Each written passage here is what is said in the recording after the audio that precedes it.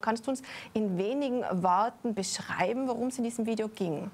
Es handelt sich um ein Video, das äh, schon sehr lange auf TikTok in Wirklichkeit im Umlauf war. Mhm. Äh, wir haben es entdeckt, als es in Deutschland bereits gesperrt war. Inhaltlich ähm, ist es so gestaltet, dass es nicht einmal eine Holocaust ähm, Leugnung darstellt, wie man es eigentlich meistens hat, sondern eine Rechtfertigung des Holocausts.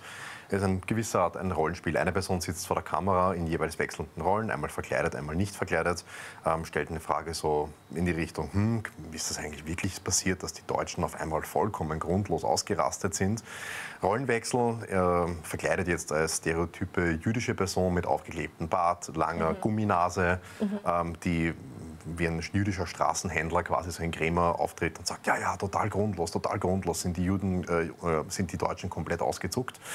Und ähm, die Antwort ist dann letztlich, hm, kommt mir verdächtig vor. Also wirklich so diese, diese Unterstellung, die da vorhanden ist, dass mhm. es für den Holocaust ähm, der da gar nicht bestritten wird, letztlich eine Rechtfertigung gegeben hätte. Irgendeinen Grund, über den nicht offen gesprochen wird. Und ähm, das ist in Österreich strafbar. Das ist im Verbotsgesetz im Paragraphen 3h geregelt, nämlich Rechtfertigung des Holocausts, weil ähm, ja, in diesem Video wird ganz klar suggeriert, dass es irgendeine Art von legitimen Grund gäbe, ähm, mhm. dass sechs Millionen Judinnen und Juden von den Deutschen umgebracht wurden. Mhm. Und ihr seid eben aktiv geworden mhm. und habt diese Anzeige eingebracht mhm. gegen TikTok. Wie hat dann TikTok reagiert?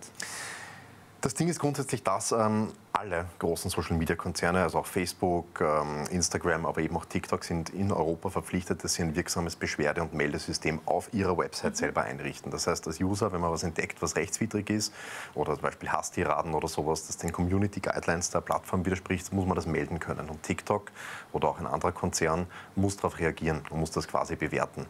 Und rechtlich ist es in Europa so, dass das nicht nur automatisiert erfolgen darf. Also nicht irgendein Algorithmus, der sich das anschaut, sondern letztlich muss dir schon ein Mensch auch antworten, warum das jetzt gesperrt wird oder auch nicht. Das ist in dem Fall nicht passiert. Wir haben das mehrfach gemeldet. Jeweils nach 30 Minuten automatisiert die Ablehnung bekommen und das Video blieb online. Insgesamt haben es über 500.000 Konten auf TikTok eingespielt bekommen zu dem Zeitpunkt, als wir es gemeldet hatten. Das heißt in Österreich heruntergebrochen sicher viele 10.000. Und das war für uns Anlass genug, das einerseits anzuzeigen bei der Staatsanwaltschaft, weil das mhm. quasi ein Beitrag ist zur Holocaust-Rechtfertigung. Auf der anderen Seite bei der Kommunikationsbehörde Com Austria, die quasi medienrechtlich zuständig ist für TikTok, denn ähm, damit verstoßt TikTok halt gegen europäische Gesetze, genau genommen gegen den Digital Service Act der EU. Genau, und wie ist es dann weitergegangen? Also jetzt ist es, glaube ich, gesperrt. Genau, also TikTok ähm, hat dann einfach nicht reagiert, äh, zwei Wochen lang. Und gestern ist dann Medienberichterstattung aufgekommen. Ö24 hat ja berichtet, mhm. ähm, beispielsweise auch der Standard. Ähm, daraufhin hat die Com, äh, die Com Austria, die Kommunikationsbehörde bei TikTok direkt interveniert, offensichtlich dort angerufen mhm. und hat mal gefragt, was eigentlich mit denen los ist. Daraufhin mhm. wurde nicht nur das Video ähm, gesperrt, sondern TikTok hat dann den kompletten Account ähm, global gesperrt und das ist jetzt nicht mehr auffindbar. Das löst auch für TikTok das Problem natürlich nicht, denn das Delikt ist ja bereits begangen. Sie haben das Video damals nicht offline genommen. Unsere Anzeige ist aufrecht und wir werden da jetzt auch dranbleiben.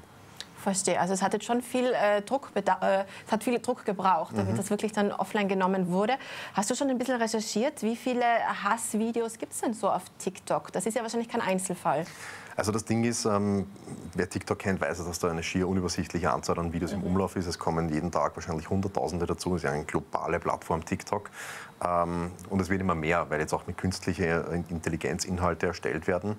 Und wir haben sie ja erlebt seit dem 7. Oktober, dem Terrorangriff der Hamas auf Israel und dem darauf losgebrochenen Krieg, ist einfach der, das Ausmaß an Hassnachrichten, an Hassvideos, an genereller Propaganda, auch antisemitischer Natur, regelrecht explodiert im Internet. TikTok ist da berüchtigt. Also man kann sich da wirklich innerhalb von ein paar Minuten von einem harmlosen Video total in rechtsradikale, islamistische, was auch immer Inhalte hineinbewegen, ohne dass man es wirklich merkt. Und ähm, das ist eigentlich das Thema. Ja. Also es ist unglaublich viel. Das, was wir jetzt gemacht haben, ist nur ein Tropfen auf den heißen Stein.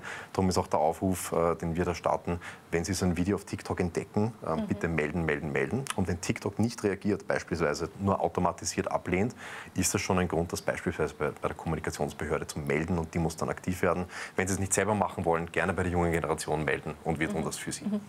Sprechen wir äh, grundsätzlich noch kurz über TikTok. Ähm, Dänemark sagt jetzt TikTok richtig mhm. den Kampf an und Dänemark ist ein Land, das ist so digital wie kaum ein anderes. Mhm. Und ich glaube, immer mehr erkennen die Gefährlichkeit dieser Plattform. Bist du selber überhaupt noch auf TikTok? Ich bin auf TikTok allerdings ähm, in einem sehr reduzierten Maß, eher als passiver Beobachter.